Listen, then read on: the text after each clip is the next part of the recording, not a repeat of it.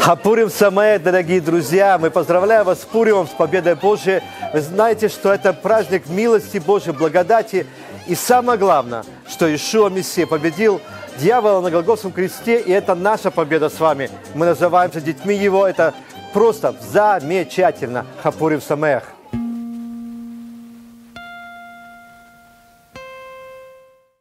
Если вы у нас первый раз в гостях, добро пожаловать. Спасибо, что вы пришли, присоединились к нам.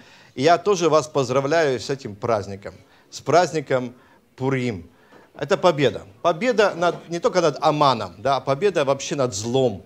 Можно э, сказать, что э, это интересное событие в истории Израиля, где в книге Исфирь э, говорится об историческом положении еврейского народа во время пленения. А, несколько дней назад я наткнулся на заметку в интернете с названием, интересное название, просто э, услышите, может кто-то читал ее. За пределами черной дыры во Вселенной человек может обрести вечную жизнь. Интересно, да? Там сказано, ученые, изучавшие особенности черной дыры во Вселенной, утверждают, что пересекший границы черной дыры человек может жить вечно, получить жизнь, в которой будущее не зависит от прошлого. Знаете, я посмеялся, потому что мы с вами знаем, что человеку не нужно пересекать черную дыру, чтобы жить вечно. Но находясь уже в ней, здесь на земле, да, нужно просто обратиться к Богу Израиля и быть спасенным, имея обетование вечной жизни сейчас – ведь ученые так долго искали, где же вечная жизнь. Нашли ее за пределами черной дыры. А она оказывается здесь. Спасение у нас здесь. Мы празднуем Пурим с 14-15 Адара.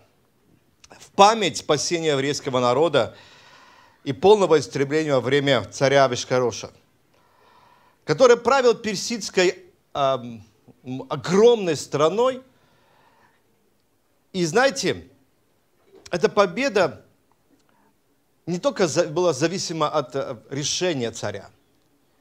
В, этом, в этой победе участвовал Всевышний Бог, которому, Бог из, э, э, которому Израиль, народ Израиля обратился в своей молитве и три дня поста. Мы знаем, что Аман, который замыслил погубить весь еврейский народ, бросая жребий, оттуда проходит, происходит Пурим, да, слово жребий, пытался узнать, какие дни лучше всего это сделать. Но говорил ли кто-нибудь из вас себе самому?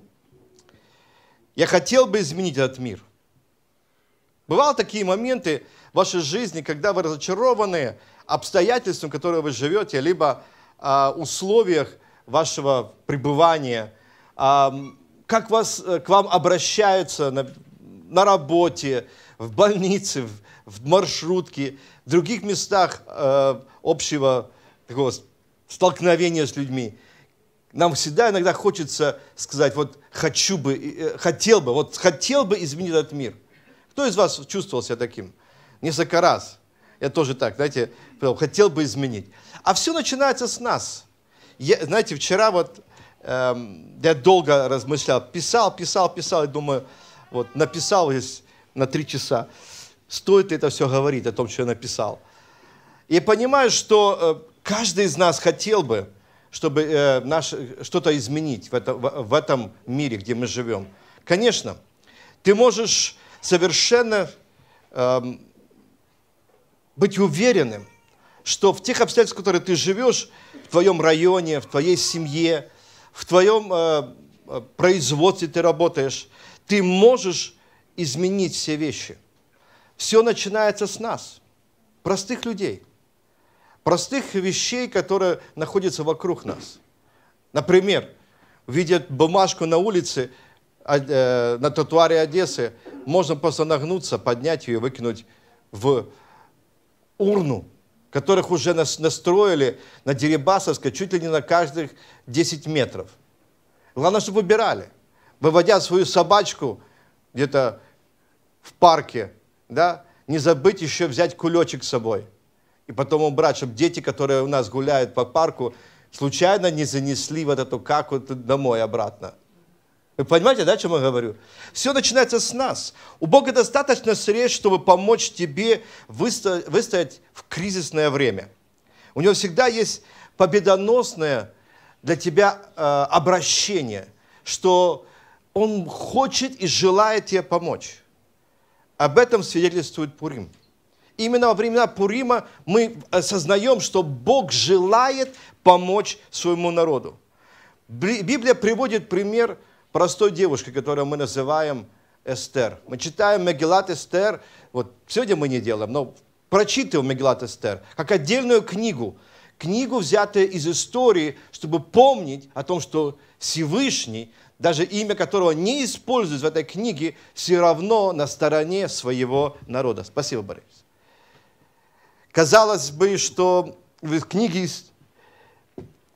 Исфирь много есть эм, такого ужасного, жестокого обращения с человеком. Но вы знаете, по-человечески, смотря на Исфирь, можно э, подумать. Простая девушка из еврейской семьи. Жизнь ее была незначительной, ординарной, как у всех из нас. Она не была из царского рода. Что мы еще о ней, э, о ней знаем? Что э, Бог использовал эту девушку в своих планах, чтобы избавить свой народ от руки, можно сказать, врага. Как каждый из нас. Бог хочет использовать каждого из нас, чтобы помочь другим людям – не делать тех ошибок или выйти из положения, в которое они попали. Сегодня мы служим тому же всемогущему Богу. Он все еще использует обыкновенных людей, мужчин и женщин, чтобы исполнить Его божественное предназначение, цели, чтобы никто не погиб, но имел жизнь вечную. Есфир жила в историческое мрачное время – на самом деле, очень страшное время. И может каждый из вас подумать, так мы живем не в худшее время. Наверное, в то же самое время наших испытаний, проблем э, с экономикой, с войной, которая не прекращается уже несколько лет, где наши молодые люди страдают, убегают, нету работы. Сегодня тоже нелегкое не, не время. Конечно же, это так. Но персидский царь Атаксеркс царствовал над 120 провинциями. Его царство или империя э, растянулась от Индии до Эфиопии. Очень серьезное время. Но мне интересна была одна э, деталь. Зачем царю Атарксерксу надо было утруждать себя шестимесячным пиром? Шесть месяцев кушать каждый день. Пир устраивать шесть месяцев. А потом на 7, да, начинать дуже хорошо отпраздновать, еще лучше. То есть 7, 6 месяцев пира, а на седьмой, как бы сказать, 7 дней, наверное, гульня была до, до, до какого-то состояния, настолько, что начал приглашать свою жену, чтобы она потанцевала перед всеми. Наверное, хорошо погуляли. Ну, я не знаю, в чем проблема, но, наверное, готовился к войне с Грецией. А это же постоянная война была. Посмотрите историю, постоянно воевали греки вместе с... То есть Европа, Европа против Ближнего Востока или Дальнего Востока. Нет, Ближнего Востока тогда. Исфирь была молодой еврейкой, девушкой, которая потеряла своих родителей, и дядя ее э, удочерил. Переехав в во время второго нашествия вавилонян, их перевезли обратно в Сузы, и там эта маленькая девушка по имени Хадаса, что означало миртовое дерево, вдруг приобретает второе имя. Имя, которое всем нам известно. Имя называется Эстер, звезда, звездочка. Помните, наши дети маленькие, мы звездочки. Эстер – и вы знаете, я вот подумал об этом, и, наверное, удивительное имя, которое а, звучит правильно. И для каждого из нас, мы как вот э, отождествляясь с такой девушкой, можем сказать, мы тоже являемся светом. И Ишуа говорил, вы свет миру. Мы можем отождествить себя с этим именем, потому что мы несем в этот мир надежду. Позволит через себя Божьему свету э, признать мрачное поколение и дать им надежду измениться. Возможно, ты думаешь о себе, что ты человек потерянный в этом мире. Есть такие люди. Они, многие не достигли каких-то вершин, не получили достойного э, образования. А некоторые, которые получили достойное образование, получили достойные работы. Да? Где-то мы разочарованы, и мы не думаем о себе как э, ну, нормальном человеке, который мог бы делать уникальные вещи в этом мире. Мы чувствуем себя потерей в этом мире полного э, трагедий, греха. Но мы должны помнить, что наш свет, который внутри нас, у каждого из нас есть свет. С надеждой мы обращаемся к Богу, чтобы этот свет раздвигал тьму. Не тьма поглощает свет. Свет невозможно поглощать. Наоборот, свет освещает тьму. Мардахей и Исфирь, они прятались за своим а, вот, э, изгнанием. Они не, не, не открывали свою, свое происхождение. Наверное, я думаю, что вообще людей, э, людей заметно, какого они э, сословия, какой нации. Да? Вы можете определить немножко как бы по национальности людей на улице? Нет? Можете. Да, вот можно э, а, вот, их определить. А по вероисповеданию возможно это определить? Чаще всего нет, но хотя те, кто более религиозные, можно понять, что они какой-то принадлежат ну, какому-то движению. Да? Особенно если есть э, косыночки такие прозрачные, можно понять, что человек уже э, протестант какой-то веры может быть, стар, стар, старой веры, или еще какие-то. Если мусульман можно увидеть, евреев можно заметить с париками или же специальным покрывалом и так далее и тому подобное. Но знаете, они, они не пытались раскрыть свое еврейство. Они наоборот, тихо, ша, давайте не будем говорить, кто откуда приехал. Давайте не будем шуметь, чтобы это не, не позволить людям от нас плохо думать. Когда-нибудь вы старались скрыть свою мессианскую сущность? либо христианскую сущность. Многие люди, да, скрывают часто, э, скрывают э, э, свою сущность, не хотят ее показать. И, может быть, есть какие-то причины, но сегодня многие евреи христиане живут из дня в день без всякого намека о том, что они знают Ишуа, Иисуса, личным Спасителем. Они просто проживают эту жизнь и говорят, мы верим в Бога, тоже нормально. Но знаете, честно говоря, вот э, наши дети э, посещали еврейскую школу, и там большущая проблема. На каждом чуть ли э, собрании э, родительском там поднимался один вопрос. Говорили, говорили, люди, вы же в еврейской школе, вы что ваши дети крестики носят? Вот, понимаете, да? У нас поднимался этот вопрос. Но час, э, момент такой очень удивительный, потому что сегодня на самом деле многие евреи тихо, ша, спокойно, по, э, еще по воскресеньям захаживают в храмы различных деноминаций. Так, чтобы, может быть, на всякий случай. Так, чтобы на всякий случай, вдруг. Ну, послушайте, если мы на самом деле верим, если мы знаем, если мы уверены в Боге, то зачем скрывать о том, во кого мы верим. верим. Знаем, кто нам помог, кто нас освободил, зачем нам утаивать. Конечно, их поведение отличается, таких евреев. Я так евреи, христиане, которые и там, и там. Их, их, их вообще понятия, они отличаются. Они не ругаются, они не совершают безбожных поступков, но они очень редко открывают вот, людям и говорят людям о своей вере, в том, во что они уверены. Люди новой свободы не могут спрятать свой свет под сосудом. Если мы свободны, Мессия нас освободил, и если мы свободны, мы воистину свободны, и мы не можем спрятать этот эм, свет в нашей жизни. Мы не можем, и мы не должны. Понимаете, э, нас Бог призвал, евреев и неевреев в, э, в быть светом в этом мире.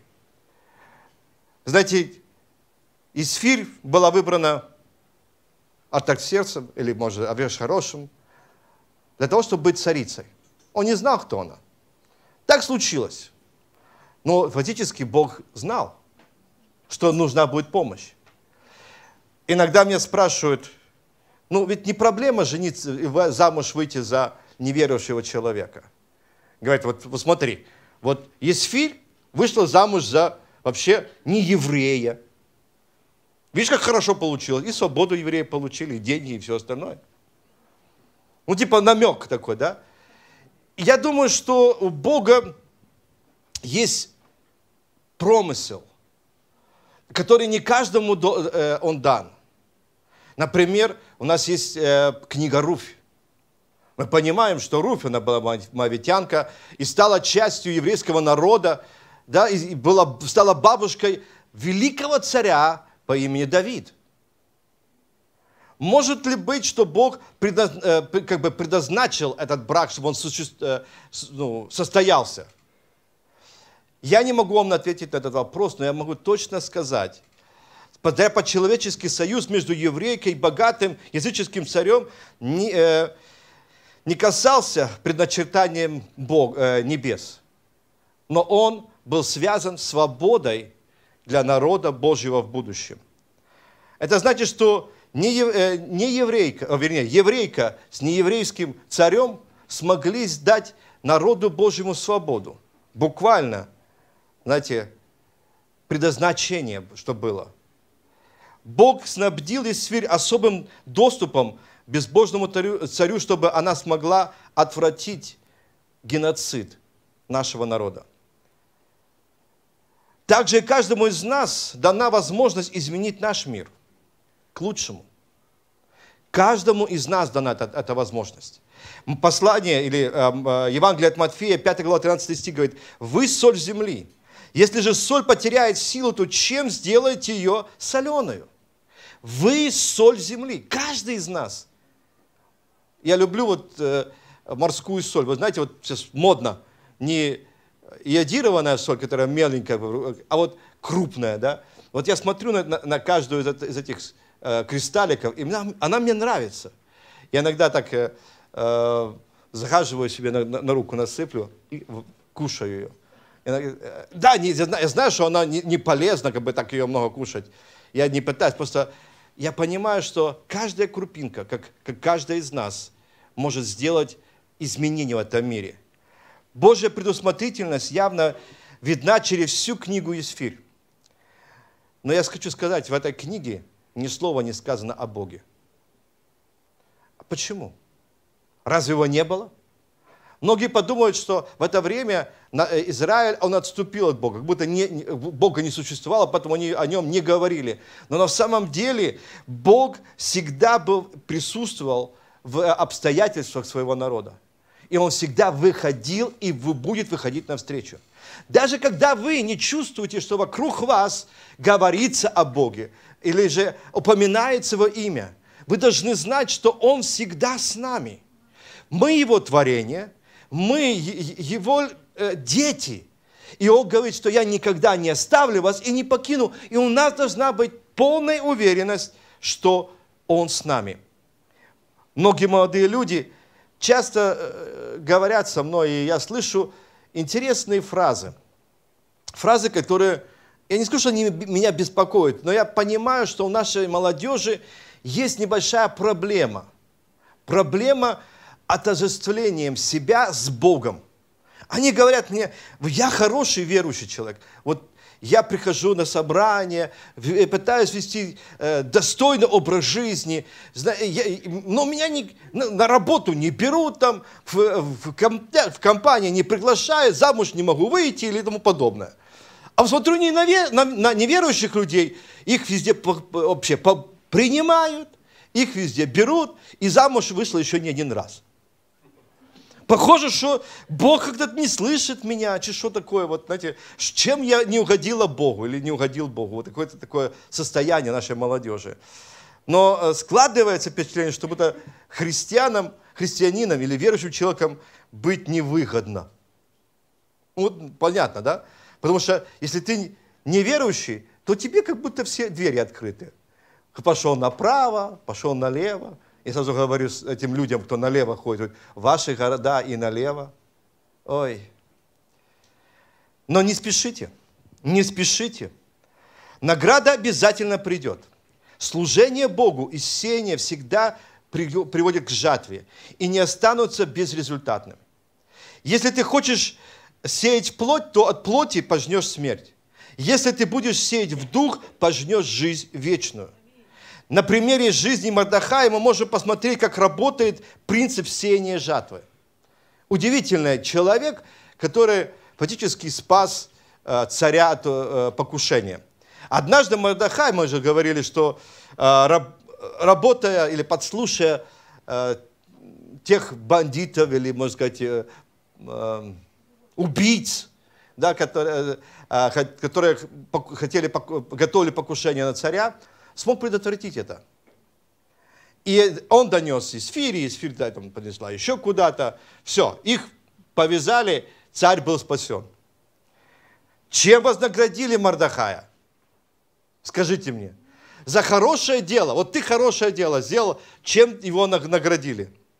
Ничем. Ему даже не сказали, Мардахай, ты герой. Молодец. Были, э, э, были у вас такие мысли? Ты делаешь добро людям, ты ложишь свою жизнь за них, делаешь хорошие дела, а тебе никто даже спасибо не скажет. И такое чувство приходит внутри. Оно мне надо. Внутри, вот это оно мне надо. Поверьте мне, если вы останетесь честными перед Богом, тогда Божья рука будет в твоей ситуации. Он придет в тот день, когда ты не ожидаешь. Поможет тебе тогда, когда ты не будешь ожидать этого. Делая добро, да не унываем, потому что в свое время, в свое время пожнем, если не ослабеем. Условие, мы получим свое вознаграждение, если мы не ослабим. То имеется в виду, если мы будем продолжать дальше работать. Работать с нашими детьми, в школе, в нашей стране. Если мы даже будем поднимать не один год эти бумажки, которые на улице собирать, да, или подметать наши дворы, убирать наши э, коридоры или там лестницы, с года в год, если мы будем это делать, в свое время мы пожнем. Буквально вот я недавно смотрел одну программу, интересная программа, называется а, «Воздаяние». Такая простая программа. Одна женщина в одном из э, э, штатов э, начала обыкновенный, такой простой, ну, как сказать, э, склад, в котором э, предлагалась бесплатно одежда, бесплатно вещи. Люди могли прийти с, люб... вот, с их городка и получить все, что им хочется. Люди, одни люди не хотели э, этим заниматься, и отдавали все ей, она набрала волонтеров и стариков, которые, э, самый старший этот волонтер, ей было 93 года. И они э, э, там, э, гладили одежду, э, чистили, выставляли, там какие-то еще поделки, какие-то там э, э, вещи. И вы знаете, э, э, дело начало расширяться они начали узнавать, люди приходили, и неважно было, э, как, что с людьми произошло. Она не спрашивала, там не нужно было покупать, там нужно было прийти просто и получить. Назывался гараж благословения. Гараж благословения. Когда услышали то, что, о чем она делает, э, что она делает, ко всему еще, мы посмотрели ее историю, э, у нее дочь болеет ну, болезнью Дауна. И вот она э, э, со своей дочерью, та тоже работает, и делали это все для, для города. И знаменитый, уже как бы ушедший на пенсию э, тележурналист, услышав о том, что она делает, узнал, послал туда своих, как бы так, людей, которые хотели узнать, что там происходит, узнал всю историю ее, приехал и в тайне, в тайне расширил ее магазин, она не знала, потому что она говорит, я не могу, люди хотят отдать э, столы, стулья, и я, не, мне негде расположить это все. Мы хотим, чтобы это было благословением. И в Тане он сделали там ремонт, а, узнал много вещей, собрал ну, как большое там количество людей в городе. И когда он ей, э, вот, а, она ему объясняла, проводила через, его через всю э, их работу, и он открывает дверь, и она, она была в шоке. Она говорит, он говорит, это твое. И дал еще ей денег а, на много-много лет для аренды, то есть заплатить об, а, аренду этого места. Мы можем менять этот мир. Мы должны менять этот мир. Мы люди, которые в этом городе не последние. Может быть, считают нас э, мусором или недостойным каким-то частью гаража, э, города, но мы можем менять этот город. В книге Исфирь, 3 глава, и первый стих мы находим, что царь имел человека, который э, был его сановником по имени Аман – я знаю, что люди себя кричат вот это имя. Аман. Аман не был персом, он был вугинянином. То есть потомков Ама, Ама, Амалика. По приказу царя все должно было быть, э, норм, как бы сказать, э, исполняемо. Аман, он имел, э, был князь, как князь, который был превознесен. И ему должны были кланяться. Чаще всего Амана сравнивают с князем мира сего. Вы согласны? Нет. Зло, которое в нем было. И э, э, в этом мире люди кланяются князю этого мира. Всем грехам. Им людям нравится разврат, им нравится унижение, людям нравится насилие, э, людям нравится приобретать деньги не, не, не как бы сказать, не трудовыми способами, как-нибудь-то где-нибудь кого-нибудь и, и взять побольше денег. Вот такой Аман, ему кланялись. Никто не, не осмелился противостоять Аману, но Мардахай оказался, отказался кланяться. Мы должны отказываться кланяться ситуации или системе этого мира. Тебе говорят унизить, да, ты не унижаешь. Когда на мир, на, на, на, э, будем говорить так, натягивает на твое мышление – отозваться на, на всякое оскорбление, да, мы не должны это делать. То есть этот мир, он нас под, ну, пытается втянуть в систему свою, чтобы мы так же жили, как все остальные. Мы не должны кланяться этой системе этого мира. Мордахай отказался, и он стал духовно смелым человеком. Духовно смелым человеком. Наша молодежь, а, наша молодежь хочет подражать друг другу. У них должны всегда быть какие-то звезды. Звезды, на которых они равняются. Такими были мы. Мы такими же были. Мы вспоминаем э, наши года, да, мы сразу вспоминаем эти прически, которые носили, там, да, штаны, которые ушивали, которые, да, особенно если джинсы в Советском Союзе были, да, то потом еще кирпичами их три, терли, правда? Сейчас смотришь, они, молодежь, это даже ничего не трет, они все покупают. А мы тогда какие-то были очень интересные. Мы тоже хотели быть, как, как все остальные. Но сущность, этот мир всегда будет на, на, э, тебе предлагать вот свой, свой, свой уровень. Но знаете, у нас есть то, что у других нету. У нас есть сила воли противостоять этому миру. Мы можем быть, находиться в этом мире, но не быть от этого мира. В этом же сам суть э, книги э, Эсфири. Быть там, быть под, э, ну, в системе давления этого мира и быть другим, абсолютно другим. Мардахай был тверд. И он говорил, нет, я не буду поклоняться. Я не буду поклоняться человеку, а буду поклоняться только одному Всевышнему. Я не собираюсь перед человеком расстилаться, угождать человеку. Особенно, когда у нас есть друзья, с которыми мы хотим их достичь. Мы думаем, что мы э, будем с ними э, э, как бы достигать их, потому что им нужен Бог. Им собирается команда, день рождения и все остальное, и начинается, да, сабантуй. И многие говорят, да расслабься, чуть-чуть. Ну что ты, меня не уважаешь? Ну 50 грамм, ну что ты такое? Ты что ты самое, выделяешься? И вот это давление, которое молодежь, или уже даже не молодежь, люди, многие под этим давлением. И некоторые ломаются, Потому что, с одной стороны, в голове у нас мы хотим типа, их достичь, сделать им предложение принять Иешуа личным спасителем, а с другой стороны, то давление, которое мы переживаем, кажется более сильным.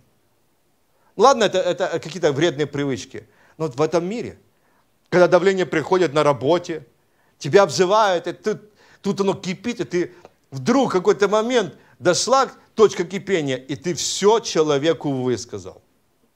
И он смотрит тебя и говорит, классно, око за око, зуб за зуб и слово за слово. Какой же ты молодец. Что это такое?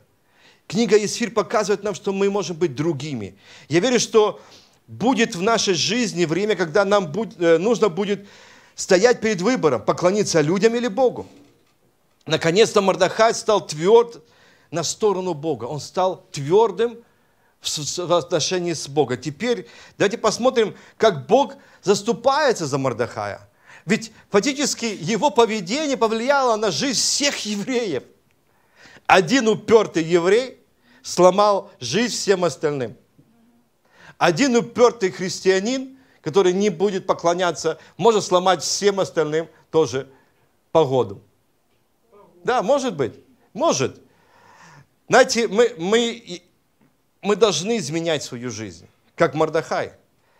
Вы скажете, зачем вообще Богу нужно было помогать евреям? Потому что о нем, о Боге здесь ничего не сказано в этой книге. Но хочу вам сказать, почему. Бог помогал им, потому что Он любил свой народ, как любит каждого из нас. Ибо так возлюбил Бог мир, что Он отдал Сына Своего – он любит тебя, меня и всех остальных. Но вот здесь Бог любит свой народ. И даже когда они грешили, а потом покаялись, Он вступался за них и обращал э, их внимание на себя. И Он обращал обстоятельства, враждебные против своего народа, в благословение. Послание, э, э, пророк Иеремия, 31 глава, 3 стих говорит, «Издали явился мне Господь и сказал, Любовью вечную я возлюбил тебя, потому простер к тебе благоволение. Вы знаете, когда я слышу эти слова, э, они оказываются такими серьезными и сильными, что любовь Божья к своему народу, она вечна. Вот здесь сказано, что издали, издали явился мне Господь и сказал, любовью вечную возлюбил тебя. Очень часто люди, э, даже христиане э, традиционных церквей говорят, Бог отвернулся от Израиля. Если Он отворился от них, тогда может отвернуться и от этих. Но если Он возлюбил вечно, значит Его вечность вчера, сегодня и веки тот же.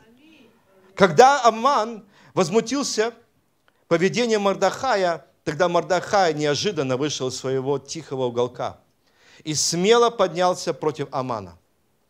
Когда приходит давление в нашу жизнь, мы должны выйти из, своего, из своей комфортной зоны, зоны и стать теми, кем мы являемся на основании Священного Писания.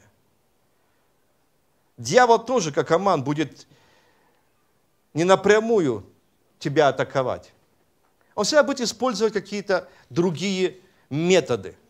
Аман пошел к царю – выпросил у него при, э, э, ну, приговор. Так же само дьявол, как Аман, он будет использовать кого-то, либо что-то, либо обстоятельства, чтобы тебя уничтожить.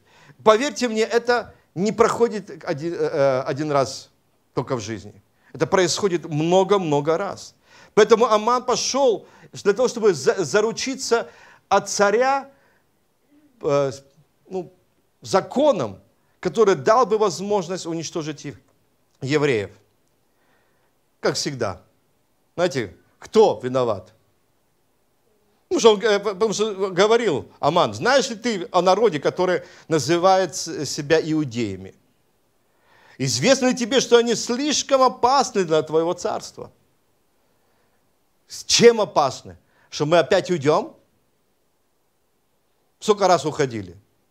Уходили с разных мест. И там, где уходили, становилось всегда плохо. Не потому, что воевали. Как всегда, есть выражение «бей, спасай страну». Да? Опять виноваты. Делать Так, как считаешь нужным, царь ответил, и мы понимаем, дьявол всегда будет атаковать. Никто, кроме Мордахая, не знал, что Исфирь была иудейкой. Исфирь никому об этом не говорила. И знаете, как многие из нас, мы не говорим всем, что мы христиане. Мы так тоже верим. Поскольку Исфирь жила среди царского народа, они э, просто не знали, а, не знали о том, что будет происходить. Помни, что закон персидского царя не, не, нельзя было отменить. Его можно было дополнить. Сатан и грех тоже объявили приговор э, смерти для нас. Каждому из нас. Каждому из нас он, есть этот приговор. Он не отменен, этот приговор. По жизни мы идем. Он не, э, он не отменен. Я скажу почему. Приговор не отменен, потому что возмездие за грех, что? Смерть. Мы понимаем, закон не изменен, но у нас есть то, что дало нам право защищаться. Не своими делами, не своими поступками, но защищаться тем, что дал и предоставил нам Мессия, Христос на Голгофском кресте. Только через это Бог дает нам возможность победить. Иоанна 3,36. Верующий в Сына имеет жизнь вечную, а неверующий в Сына не увидит жизни, но гнев Божий пребывает на нем. Почему? Потому что возмездие за грех – смерть. Поэтому этот закон, он нет, никогда не отменился. Он отменится, когда мы уже попадем в Царство Небесное, да? когда мы будем с Ним вечно. Когда Мардахай услышал приказ, он оделся в ретище. И, честно говоря, это очень интересно. Если, если мы знаем, что возмездие за грех – смерть, нам необходимо взять на себя ответственность смирения. Потому что победить грех э, своими силами невозможно. Нужно смиряться э, э, в жизни и иметь Бога твоим адвокатом.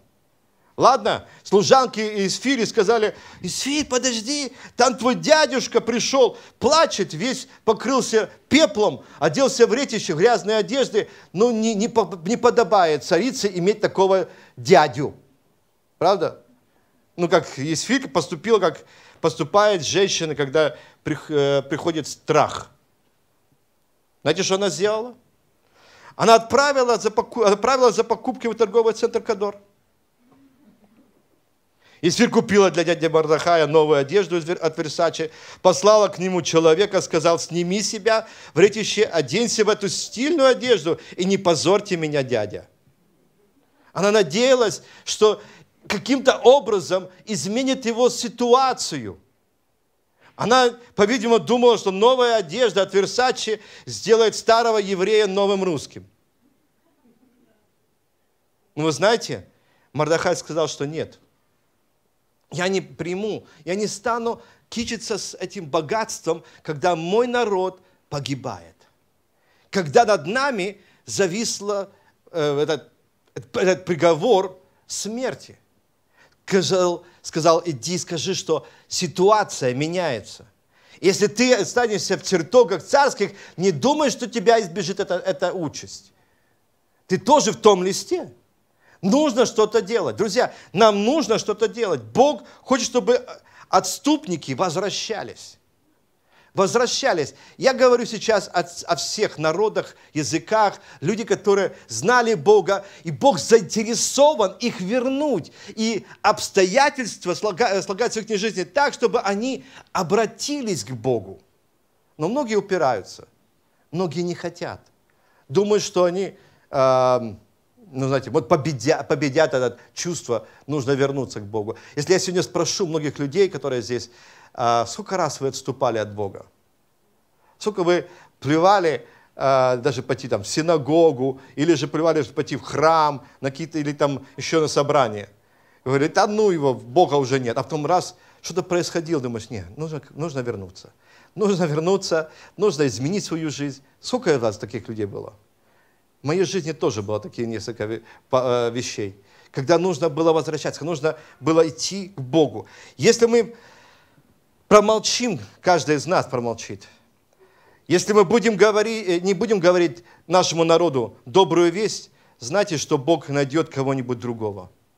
Потому что здесь послание Мардахая к Исфире. Если ты замолчишь, то знай, что Бог найдет.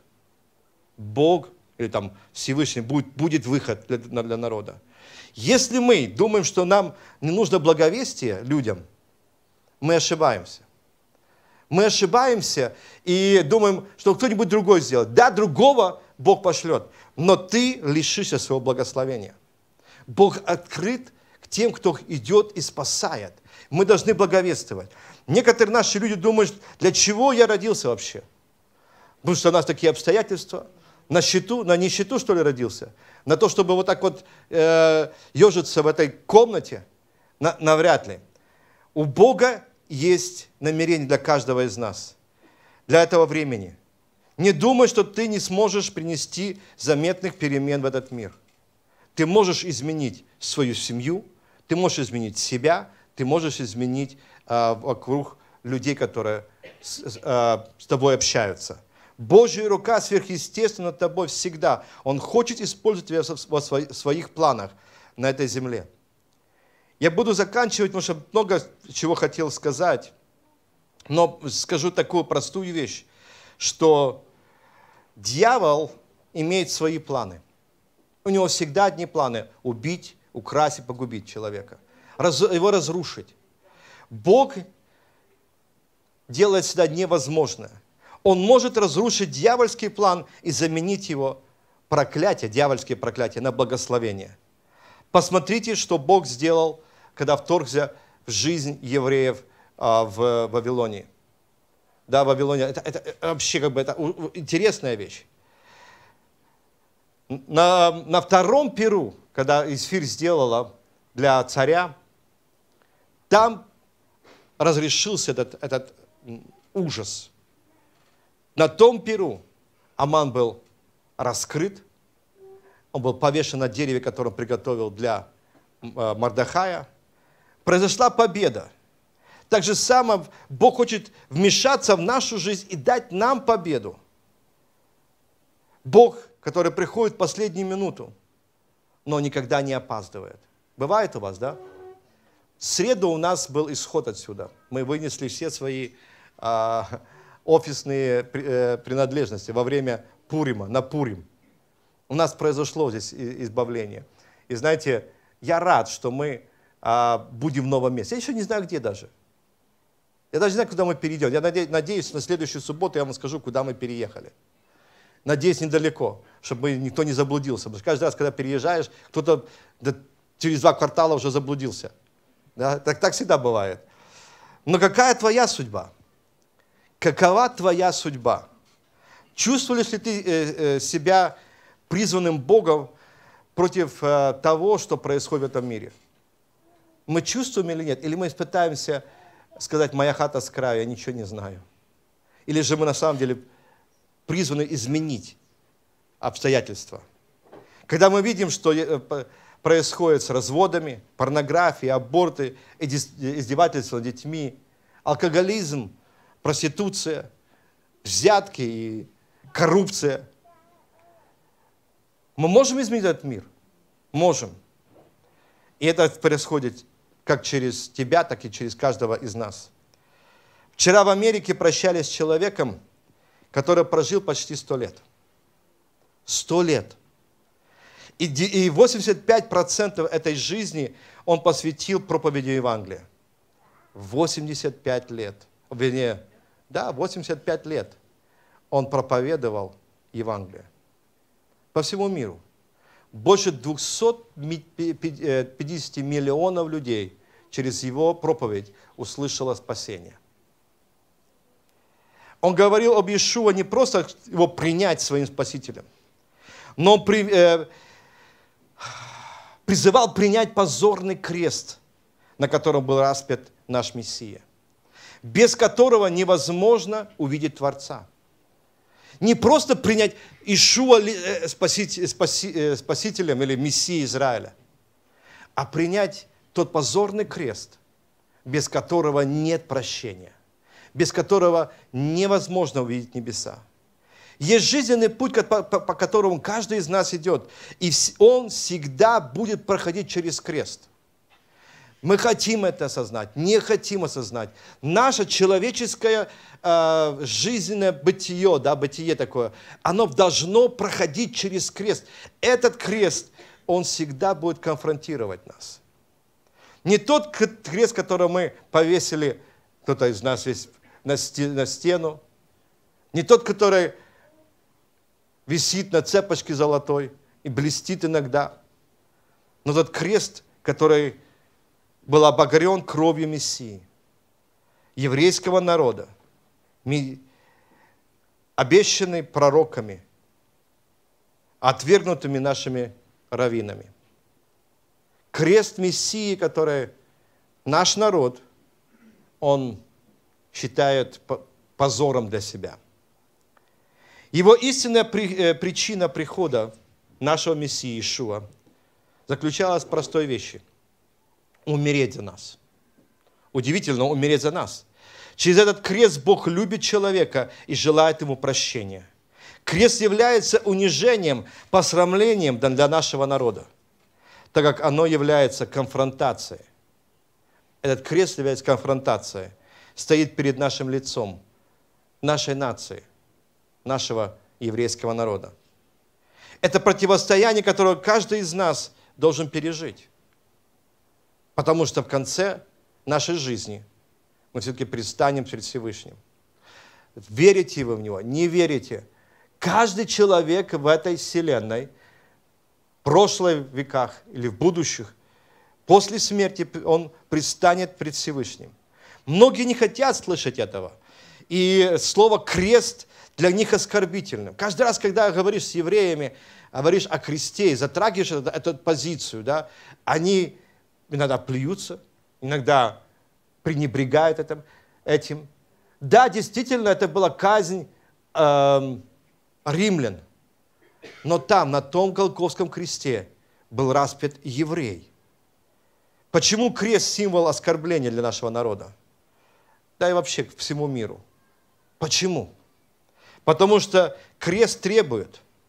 Крест Голгофы, он требует, он не намекает на, э, на совет или не делает намеки, а просто изменить свою жизнь. Он требует новой жизни, обновленной, другой жизни. Крест Голгофы требует от нас измененной жизни. Вы меня простите, я буду как вот открыто говорить с вами, да? Чаще всего, если ты идешь в синагогу, они, зная законы, да, иногда ведут себя, как будто нет законов, как будто их не, не существует. Я вам честно скажу, Голговский крест, смерть Мессии конфронтирует и обязывает тебя измениться. И многие люди не хотят это сделать. Не хотят просто делать, потому что требуют жертвы. Прощать врагов, прощать должников, говорить спасибо, пожалуйста, быть вежливым, быть услуживым. Да, действительно, крест, заставляет тебя по-другому жить. Он не предлагает тебе возможности, он заставляет тебя измениться. Каждая клетка нашего естества заполнена болезнью. Эта болезнь называется грех. Грех, он наполнил нашу человеческую жизнь, наше общество, наше сердце. Заболевание, от которого нету другого э, исцеления, как только крест Голгофы, кровь Мессии. Как избавиться нам от оков греха? Каким образом нам можно получить свободу от греха? 2 Коринфянам 5, 17 говорит, так, кто в Мессии, тот новая тварь. Древнее прошло, теперь все новое. Если вы поймете, что в действительности книга Исфири показывает перемены и надежду на Бога, то поверьте, Бог хочет, чтобы мы изменились. Хочу обратиться ко всем нам. В этот праздник люди любят повеселиться. Карнавал, и, э, какие-то глупости, кто-то пить, напиться, кто-то иметь свое, э, свое представление о веселье. Но на самом деле нам нужно задуматься о том, что произошло тогда, каким образом это спасение пришло. Народ молился Богу, и Бог вышел навстречу. Во времена, когда пришло, э, пришло спасение для Израиля, Ишуа пришел в этот мир, чтобы избавить не только евреев, но весь мир от влияния греха.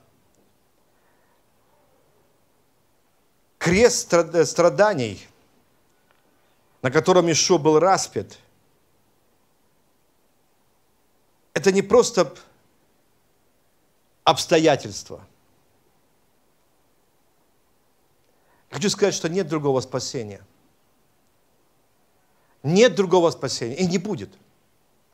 Ни через Талмуд, ни через традиции наших отцов, даже не через пророков или раввинов. Бог дал только один путь. Через спасение, веря в Иешуа. Да и все почти, почти по закону очищается кровью. Без пролития крови нет прощения грехов. Нет прощения грехов не через традиции, не через какие-то еще убеждения, не исследования за каким-то цадиком. Не, да? Я хочу сказать, э, наши люди иногда при, делают вещи, которые сами не понимают, что Бог от них э, не хочет, чтобы они делали. Иоанна 14 глава 6 стих. Ишуа сказал, я есть путь, истина и жизнь. Никто не приходит к Отцу, как только через меня. Почему Ишуа? Потому что о нем пророчествовали пророки говорили пророки, говорили наши отцы. Он, он прожил безгрешную жизнь, и более того, он стал праведником, цадиким. И знаете, он не, не тот праведник, который лежит э, в Умане. Наш народ идет тому праведнику, ожидая того, что там где-то будут услышаны молитвы, э, э, их записки. Иешуа не тот праведник, который лежит в Умане. Сегодня я прошу вас положить надежду на и довериться Богу.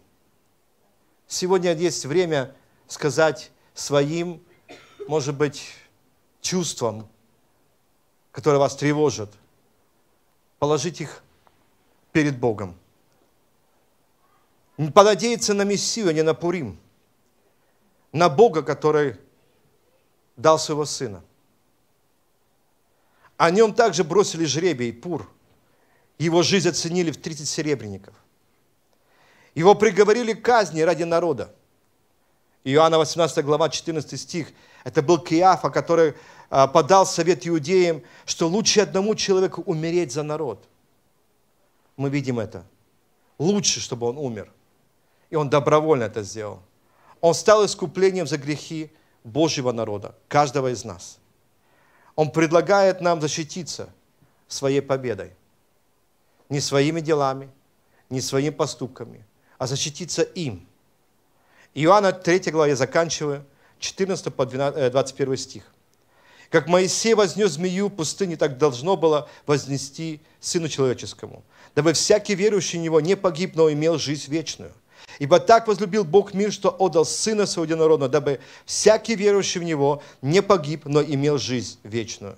Ибо не послал Бог Сына Своего в мир, чтобы судить мир, но чтобы мир спасен был через Него. Верующий в Него не судится, а неверующий уже осужден, потому что не уверовал во имя единородного Сына Божьего. Суть же состоит в том, что свет пришел в мир, но люди более возлюбили тьму, нежели свет, потому что дела их были злы. Ибо всякий, делающий зло, ненавидит свет и, не, и не идет к свету, чтобы не обличить дела его, потому что они злы. А поступающий по правде идет к свету, дабы явны были дела его, потому что они в Боге сделаны.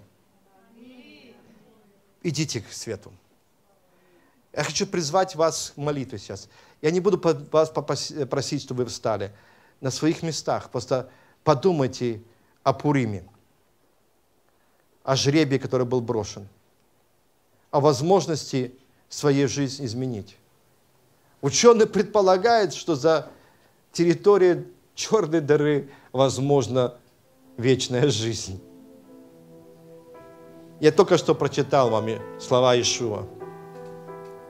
В нем есть вечная жизнь. Если вы сегодня здесь в гостях. Вас пригласили на Пурим, и вы как еврей, либо имеете еврейские корни, спрашивайте себя, почему вообще в синагогах об нем не говорят? Потому что он стал позором для еврейского народа. Они считают, что он не исполнил самую большую заповедь или а, то, что он принесет, должен был принести мир. Еврейскому народу должен был принести мир. Вроде бы все остальные пророчества были сказаны о нем, и они исполнились. Мы читаем Исаия, мы читаем псалмы Давида. Но вот это одно, он не принес мир народу. Но я знаю одну вещь. Когда ты приглашаешь Мессию Ишуа в свою жизнь, ты просишь, чтобы он стал царем э, э, мира. Он есть царь мира. В твоей жизни приходят изменения. И я вам скажу, первое, это не страшно, что будет завтра. Второе, не страшно, что будет за границей смерти.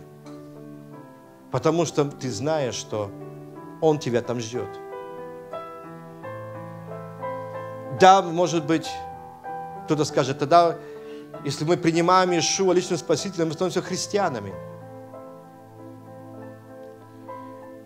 Если ты проходишь гиюр, кого ты принимаешь? Бога? Какой Он? Еще говорит, видели меня, вы видели Отца. Принимающий меня, принимает и Отца. Поэтому, когда мы говорим о, о Нем, мы принимаем Его как своего Спасителя, и Он меняет нас. И этот мир, Он окружает нас. Ты становишься уверенным в том, что твоя жизнь не пойдет даром.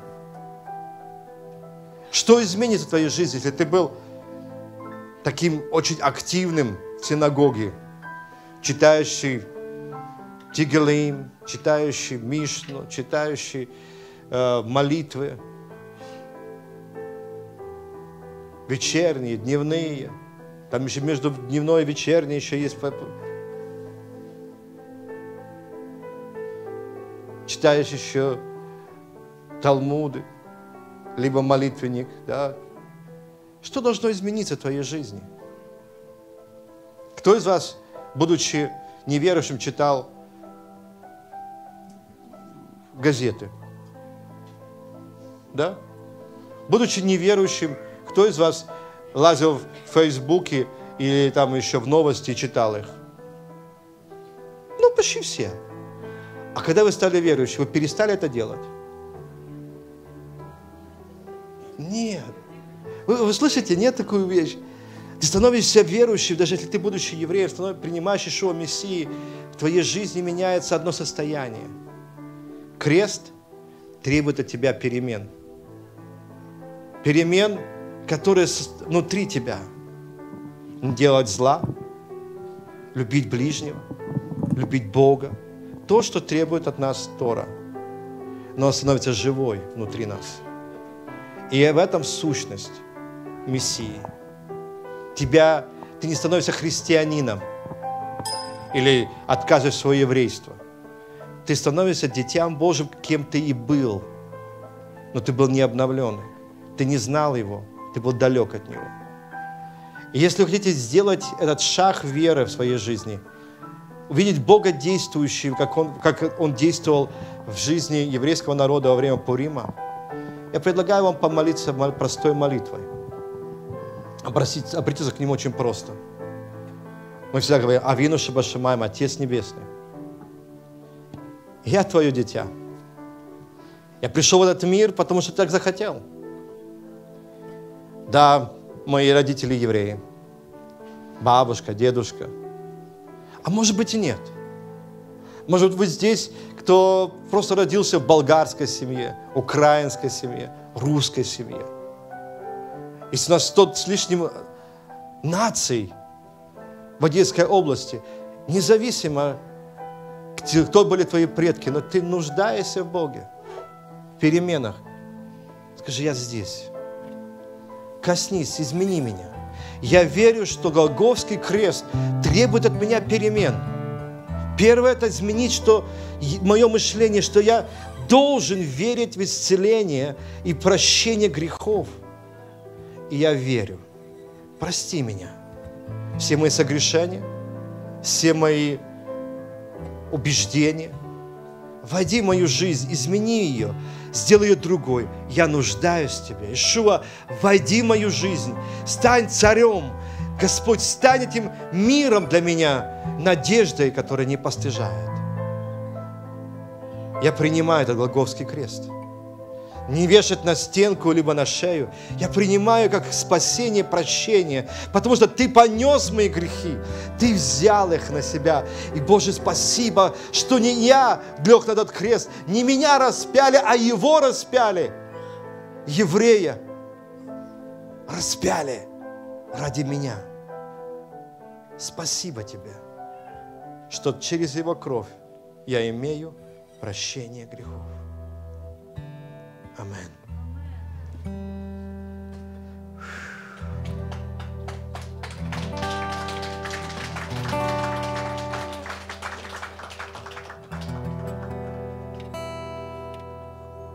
Не покидайте просто так вот собраться и уйти сегодня.